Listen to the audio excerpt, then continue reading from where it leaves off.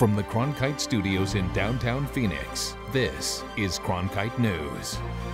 Good evening and welcome to this special edition of Cronkite News on Arizona PBS. I'm Samantha Lummibow and tonight we celebrate some of our top reports from our Cronkite Sports Bureau. From the efforts to keep players healthy to stories of inspiring athletes who are transforming communities. The freshman football team at most high schools often don't get a lot of time in the spotlight. But reporter Matt Lively has been on the sidelines, tracking one young player making an impact. 14-year-old Adonis Watt has spent most of his life turning heads. Now he's a freshman at Brophy High School, and he's turning more heads than ever before. But this time, it's on the football field. Football is a game of sight, a game of sound. I've been playing it almost 10 years now. I've been playing it, like I've been playing football before I was blind. Without his eyesight since age five, Adonis plays the game by listening for his defenders. His hearing is vital to his game. A game number 48 hopes to play well past high school. Right now I'm about 14, going to the NFL, so probably, probably about 20, 22 more years. Adonis lost his vision suddenly one summer day while playing with friends. He was diagnosed with glaucoma, a condition that damages optic nerves and can lead to blindness. For that first year, he had 11 surgeries, and age six was when he said, Mom, I don't want any more surgery because I'm not broken, and I know you're trying to fix me, but I can see you. The Watts enrolled Adonis in the elementary education program at the Foundation for Blind Children, where he learned how to read Braille and adapt to his new way of life. I knew early on Adonis was special. I knew early on that he could do anything. He could go places, and he would be willing to take the opportunities given to him. Football runs in the Watt family. Both his father and brother played, and the high school freshman wasn't going to be the outlier. When Adonis went blind, I thought, well, how is he going to win? Because, like, we win, and so what's up? and he was like, what do you mean?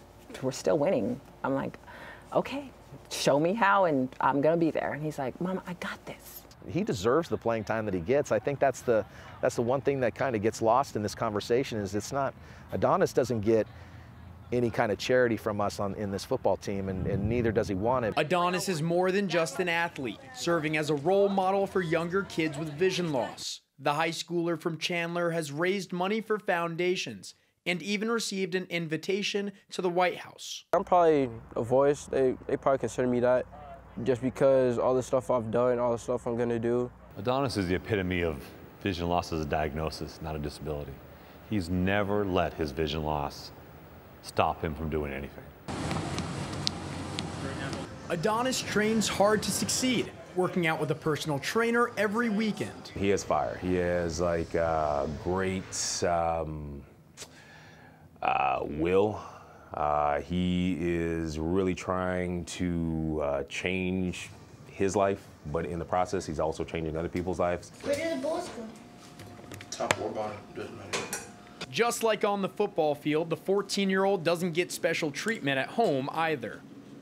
You know, he gets up, he makes his bowl of cereal just like all my other kids, you know. He does his own thing. He's not going to be 40 years old living in my house asking me for gas money. You're not protecting them over their lifetime if you're not letting them learn and letting them do things that other kids are doing.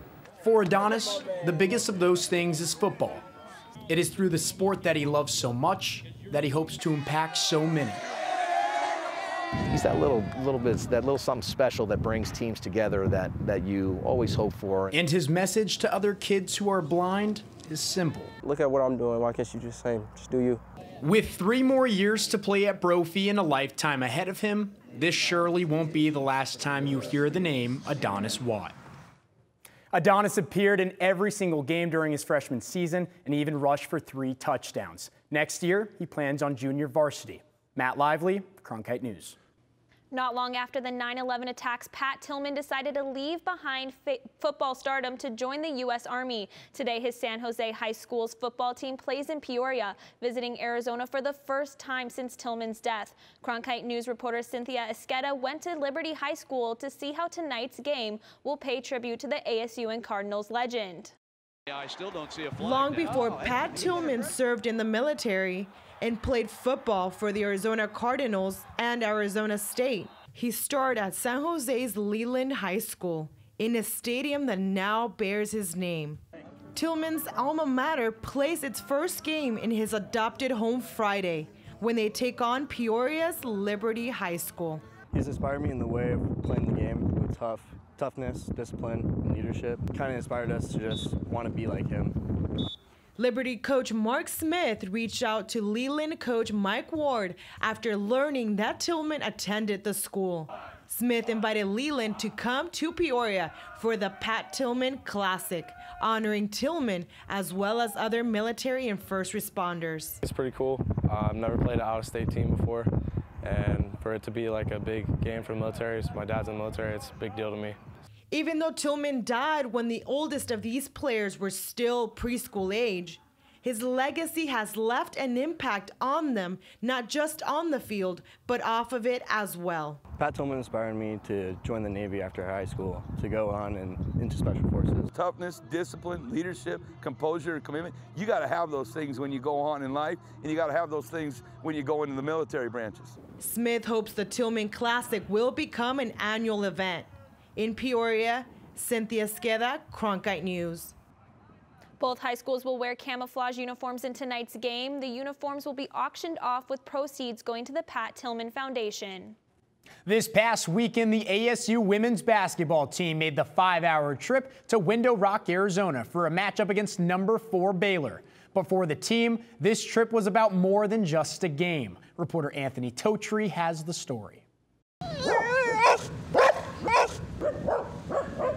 No expensive shoes, no perfect hoops, and sometimes no court at all. But that doesn't stop the passion for basketball for those in Window Rock, the Navajo Nation capital. If there's a basketball and a hoop, you can basically just play anywhere. This past weekend, that passion was showcased on national television as fans packed Window Rock High School's 6,500 seat gymnasium for the showdown on the res. A game between Arizona State and Baylor's teams. For many, it marked the first time they experienced Division One basketball. Although the game's significance can't be understated, it was about more than just basketball. Having them here inspires me to like go bigger, dream bigger, and just have a mindset that wherever you live, you can always achieve more than you think.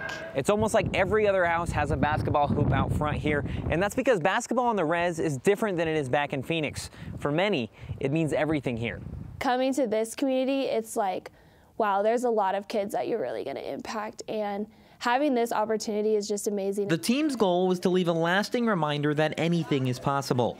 And if there's one piece of advice Coach Charli Turner Thorne has for those on the res, it's to follow the path that came before them. They had a fire inside of them. They were hungry to do things that, you know, they weren't sure they could do. You know, I would tell them, you know, it's okay if you don't think you can do it, but go for it. With 5,600 in attendance and thousands of kids in the stands, the Sun Devils left those on the reservation with an experience unlike any other.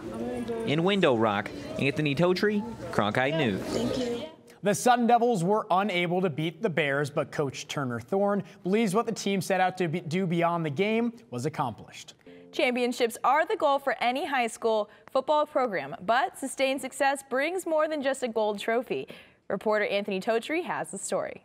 The Saguaro SaberCats are no stranger to success, winning five straight state championships with a sixth in progress. It's pretty easy just because once you have that feeling of winning a state championship, there's no feeling like it, so you, are willing to work as hard as it, as hard as it takes to um, win the other ones. As Saguaro consistently remains one of the top programs in the state, head coach Jason Mohns knows what this team does for the school. You know, when you've got a good football team that's playing in big games and winning big games, and there's rivalries and there's excitement, the, the students show up to support the team, they spend time together, and I think it builds a school spirit. But a handful of championship trophies and an in-state winning streak extending years back does more than just earn fans and support. It earns money. The, the, thing that people don't look at is when you have people that open enroll and come to the school from out of district, it brings more money into this district. And, and we have had a lot of kids that have come to this program from outside of our, our boundaries. Transfers are a part of any successful football program, but their contributions go beyond the field. When a student transfers out of district from one jersey to another. Then per pupil spending comes into play, which is the amount of money allocated per student. In 2017, a report from the state government concluded that Arizona's total spending per student was $9,653. And each kid has a value over their head about how much each one is worth. While transfers bring in a good chunk of funds, so do the ticket sales, concessions, and other aspects of having giant crowds on Friday nights. But for the athletes, coaches, and administration, it's not always about the money. They come in, but it's not something where they just come in to get what they want. They come in and they become a part of the family almost immediately. A portion of the money does get pumped back into the program, and it's evident in Saguaro's new $2 million turf field and the renovations to the weight room over the last few years. In Scottsdale, Anthony Totri, money, money, money. Cronkite News. With high school football playoffs right around the corner, Saguaro could rewrite history yet again if they're able to capture their sixth straight state title. If you're looking for one show that tells you what happened that day in the world of business, it's NBR. We saw a classic shipwreck. Nordstrom's opening stores. Triple-digit gains. Crude climbs. We're there to help our audience find new investment ideas. The market still has room to go up. Nightly Business Report is the longest running business television program in history. Weeknights at 10:30 on Arizona PBS.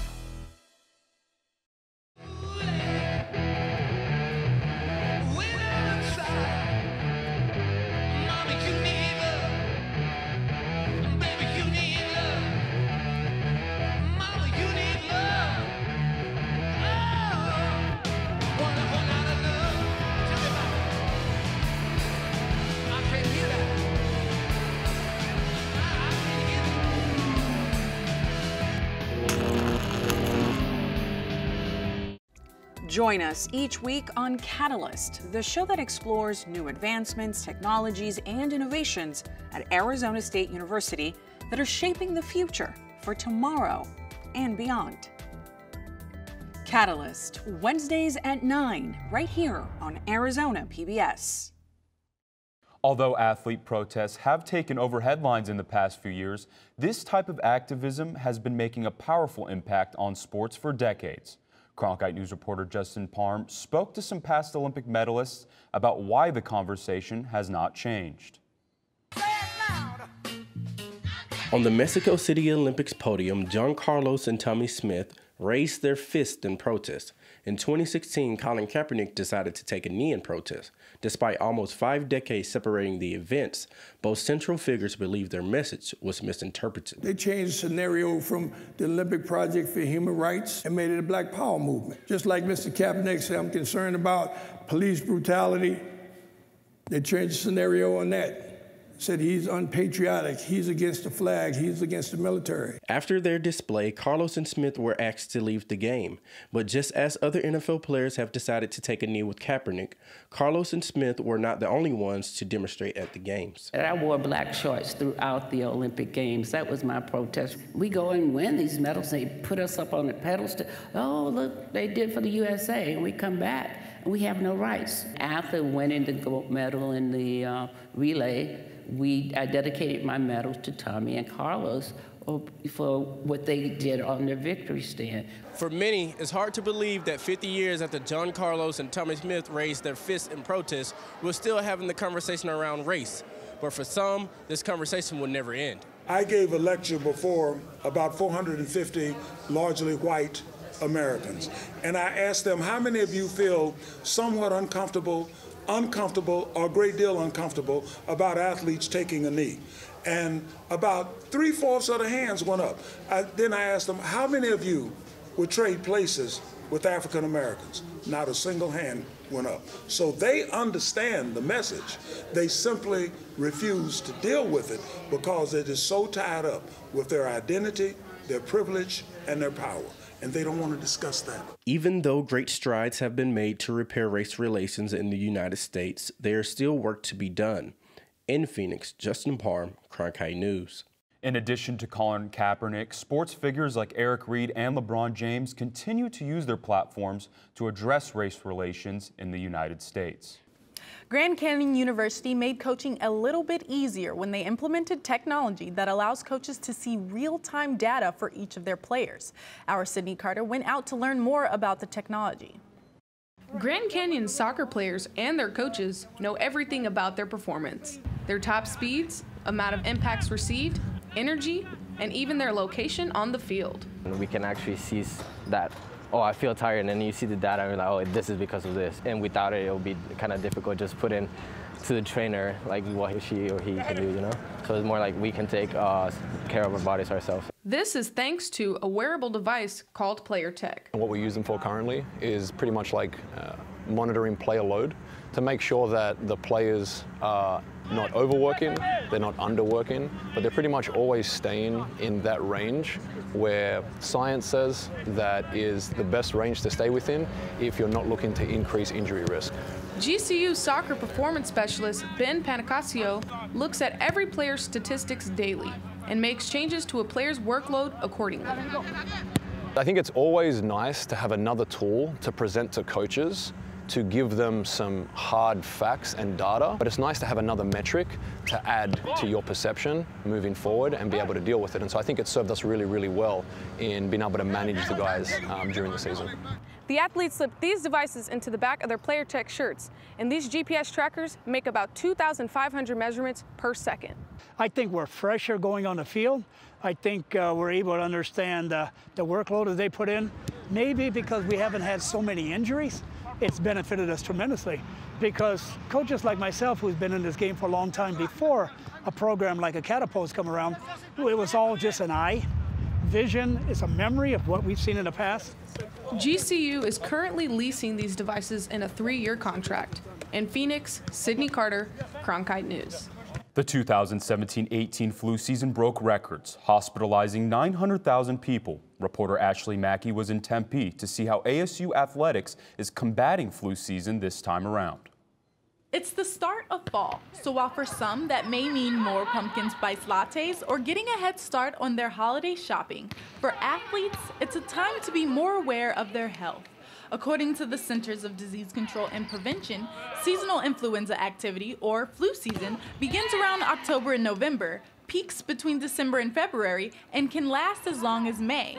With the constant close contact ASU athletes experience on a day to day basis, awareness and precautions of the disease are in place, including flu vaccination. Oh, ASU does a really good job of making flu vaccinations available for everyone, whether it's staff, regular students, um, and we're no different. So we make it available for all the student athletes.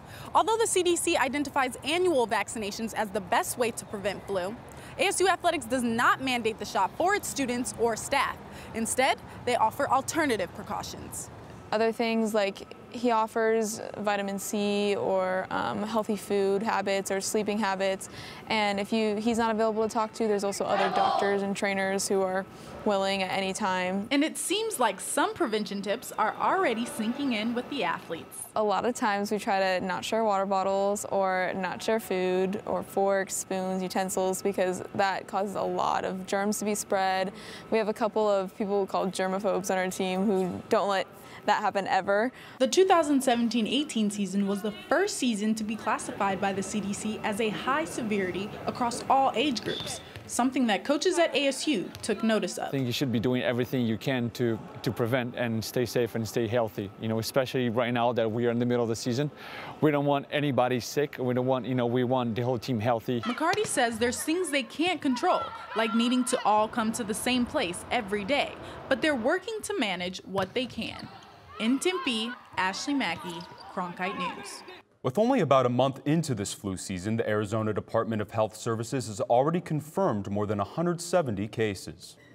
Voluntarily getting into a sub-zero temperature chamber after a tough workout might seem extreme, but that exact method is letting Phoenix Rising players avoid injury with USL playoffs approaching. Cronkite sports reporter Ricardo Avila gives us an inside look. Phoenix Rising is putting a spin on the term home field advantage, battling the extreme heat of Arizona summers with the extreme cold that comes with cryotherapy. I hate the cold, but This is a this is a very good process. It helps your body recover a lot faster than not doing it. It's three three and a half minutes of just sacrificing. If you get through those three and a half minutes, I bet you you'll feel ten times better after you're done with it. Feeling 10 times better is what cryotherapy is all about. With their season lasting up to 10 months and frequently playing in temperatures well above 100 degrees, players know recovery is key to their success. It's a great experience for us because it gives us the opportunity to recover to the best of our ability and so that we can perform at the highest level that we do. Uh, just get in there, you'll be fine. Trust me, it's, it's, you'll feel great afterwards, so it's all worth it. Even though temperatures in the cryo chamber can drop to negative 170 degrees Fahrenheit, and some might see that as torture, it definitely has its benefits. And what we find is that we're able to get the guys back to 100% faster than when we were not doing cryo. And also, we're able to train at a higher level because um, their tank gets filled up or their energy gets filled up faster. Whole body therapy is essentially just for reducing inflammation, um, increasing range of motion, all those things. Because when you're practicing and playing games, uh, it's hard on your body, your body's trying to recover. As Rising enters the final playoff push, the team remains hopeful of surpassing last year's first round elimination. In Scottsdale, Ricardo Avila, Cronkite News. The mountains surrounding the Phoenix metro area offer individuals the chance to escape concrete, but that doesn't necessarily mean other people. Despite over 200 plus miles of public trails for outdoorsmen to enjoy, population increase in the area is leading to crowded mountains and issues for users. Jake Trybulski reports. As people continue to flock to Arizona's most crowded city, traffic is appearing in places without paved roads. We like to say that our trails are loved to death, and that really is true. According to the U.S. Census Bureau, the Phoenix metropolitan area has grown about 13% since 2010. More people in the area means more people looking to enjoy the Phoenix outdoors. City trail counters tallied over 3,400,000 users in 2017. That's according to the City of Phoenix Parks and Recreation Department. Phoenix trails take such a beating, it makes it hard for city employees to keep up with. There's a lot of volunteer hours that we get every year, and we couldn't operate without that. In order to fight the decay of trails, groups such as the Gravity Riders Organization of Arizona promote trail advocacy. They frequently hold trail maintenance days to protect the land. As population increases, maintaining existing trails is one issue. Keeping people on them is another. Sometimes we'll do an entire trail day that that's all we're doing is just cutting off shortcuts or repairing damage from people cutting around things. Wandering off the beaten path raises huge safety concerns. With unmarked trails, when a user becomes lost or injured, it becomes extremely difficult for rescue teams to find them. And the scary part is, a lot of people don't realize they're in an unsanctioned trail at all. One person going off trail leaves a, leaves a path for others to follow. Once other people start following, that increases the trail, makes it more appealing to others to use, whether they know they're, they're doing it or not.